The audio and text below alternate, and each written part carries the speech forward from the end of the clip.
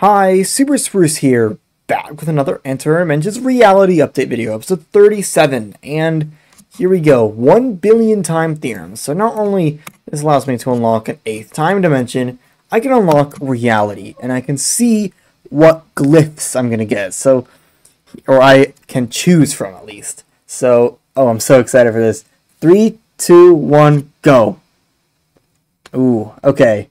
So I'm so I have an infinity glyph, a time glyph, a dilation glyph, and a replication glyph. I was hoping for a dilation glyph.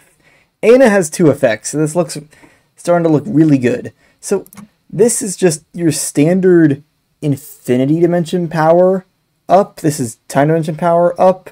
And dilation, it's actually kind of disappointing. This is, so normally I'd be getting stuff like dilation, dilated time, but instead I get these two effects.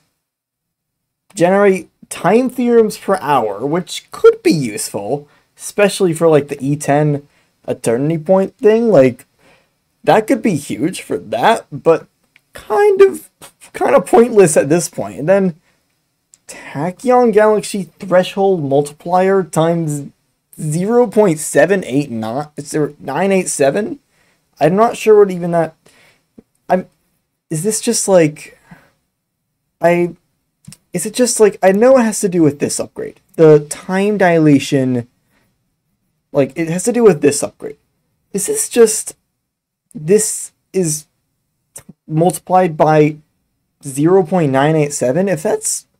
That's barely anything, unfortunately. Like, unless it's per upgrade, which I don't know. But that's actually really disappointing. The real dilated time thing is in the replication, which is times no multiply dilated time gain by plus 3.71 per e 10,000 replicanti. Okay, well I said I, I was thinking about a dilation glyph, but not anymore. This is um this is kind of this is kind of disappointing, actually. Like, I got really excited when I saw Dilation Glyph and there was two effects. And no, I just want I just wanted a flat dilated time multiplier. Like not any of this this stuff or I don't know. I mean, this still could be very useful. But it's like I don't know. I don't know. I was thinking, I mean, maybe, like, okay, like, that kind of thing, it'll make stuff like this, or not this, um, it'll make this trivial. However, I mean, like, okay, 3.44 times, this is also 3.32 times. But, yeah, oh my god. it always likes to give me tough decisions don't feel like I want another time dimension one because I already have one. There's also this infinity dimension one, which I could get because it will boost pre-eternity, allowing me to possibly get the um, ex- existentially prolong upgrade, which will be pretty good, I think. But I don't, I don't know. Oh my god. Well, Okay, what I'm going to do, I'm going to disable dilation. Actually, I might just wait for this upgrade. No, I'll, I'll just disable dilation. Start grabbing more eternity points, especially with the eighth time dimension. I'm going to be able to get a lot farther, but yeah, I don't... Basically, at this point, there's two things I'm going to be doing. And this is grinding Eternity points for reality machines. I guess also grinding dilated time. Um, so those two things will be crucial. And I'll be grinding banked infinities. So I can get the E12 banked infinities. And then maybe we can get a higher glyph level. Because right now it's level 2. And like you can see this is going up. But I'm still pretty far from a third. Um, from a level 3 glyph. So it's Oh my god. This selection is very interesting. I didn't expect this. I it's because I'm used to these bottom left effects, but then it's throwing me for these curveballs of these top right effects, which I've never, I've never, I've never seen either of these two effects or this effect because I'm trying to keep myself spoiler free. I might, I might have heard of the time theorem per hour one, but not, not this, which just seems like such a garbage thing at least until I start going like way, way, way up in eternity points, where I get or not eternity points, like but dilated time. I'm talking like meta dimensions tier, like E60, E70, E100 dilated time, but we're we're not we're not there yet, and you can see it is actually fast to reach as much as E5000 eternity points here, which is nice, but the other thing about this is that okay, this is episode 37. The last episode I uploaded to YouTube, which isn't even like public up public publicly published, is episode 24. Which is way, way back pre-break and Infinity, this reality, which is kind of crazy to think about. But yeah, I think well, basically this means that I'm going to be spending a ton of time pushing as far up as I can with reality machines, glyph levels, and I'm definitely going for at least level 3 glyphs. Maybe level 4 glyph will be within reach, and that's when things will might start getting even more interesting.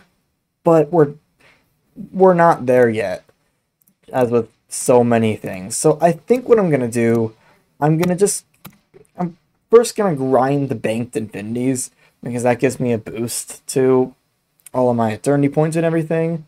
And then I'm also, well, I was interrupted there and unfortunately I have to lose some time with the dilated time thing, but whatever, I can just progress and basically it's it's really just the same thing. Like enter dilation and try to get just as much as I can, or also get that. That would be actually useful if I can remember every time.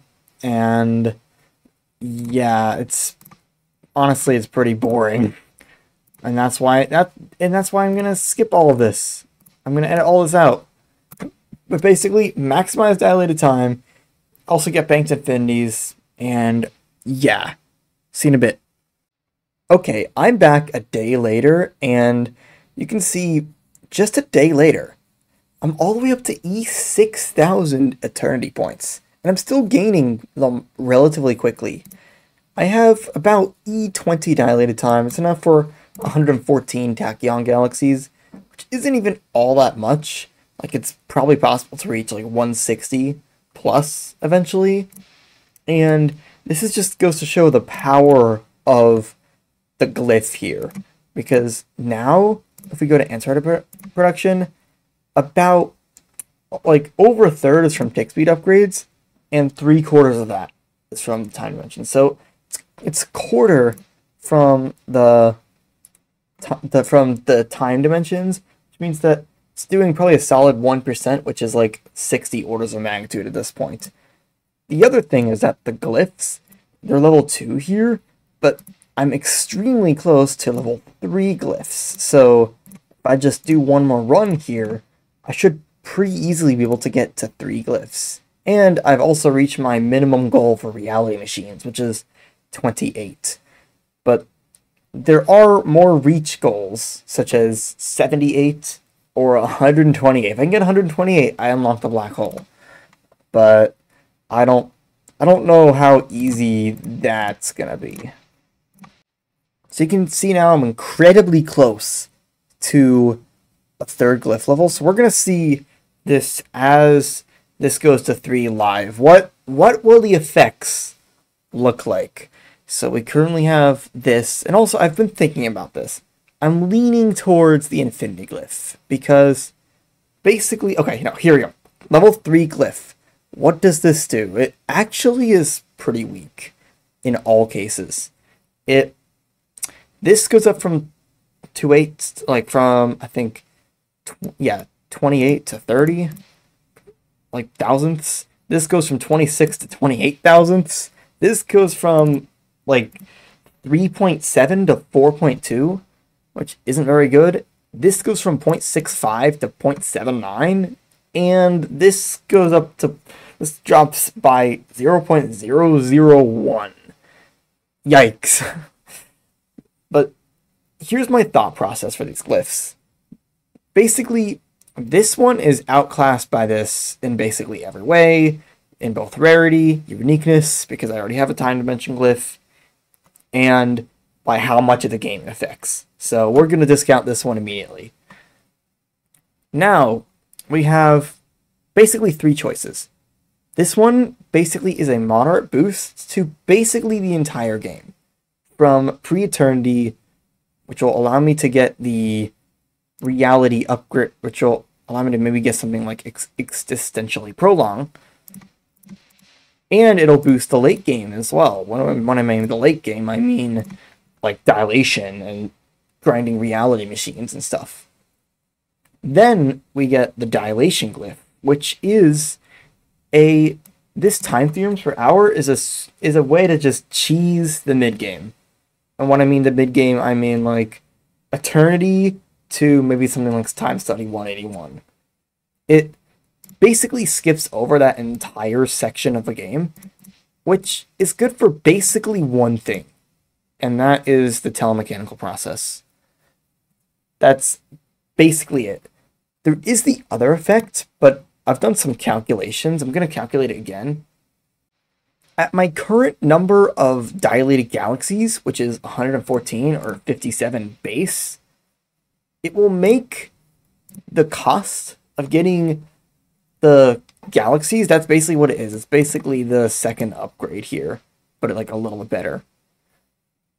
Basically, it makes it about, at this point, 2.3 times cheaper for dilated time per galaxy, which basically means that might seem good, but it's actually only about two galaxies, and it's only gonna affect gonna have an effect in dilation. So that's like maybe 10 orders of magnitude of eternity points, which isn't good. And then there's the true dilation glyph, the replication glyph, which multiplies dilated time by a decent amount. It's about 4.2 per E10,000 replicanti. This means if I go on, on a sufficiently long run, I'll be able to get about a 9 times multiplier because it'll be 1 plus 8 from the replication glyph. So, but the other problem with that, it's only it's only going to affect dilation. It's gonna it's gonna leave me hanging for reality upgrades such as the telemechanical process and existentially prolong. Now the other thing here is the perk I'm going for. I won't get it next reality, but I'll get it that reality after. Autocomplete one eternity challenge every 60 minutes. And it'll be completed sequentially. The basic basically how I'm reading this is that even if I haven't unlocked it, it will automatically complete. Basically turning it into old New Game Plus. Because that's exactly what old New Game Plus did. It just auto completed all the Eternity challenges. And that is enough to easily cheese both existentially prolong and the telemechanical process. Or not, no, no. What I meant, oh my god, I'm so dumb. When I meant the telemechanical process, I actually meant the paradoxical forever. Whatever, I, I suck sometimes at all this, but yeah, you can see what these upgrades do. Um, this is a decent tachyon particle multiplier, and yeah, there's also the the problem of which glyph am I going to use for linguistically expand, which I'm eventually planning to do. Not next reality, but maybe like the reality after or something.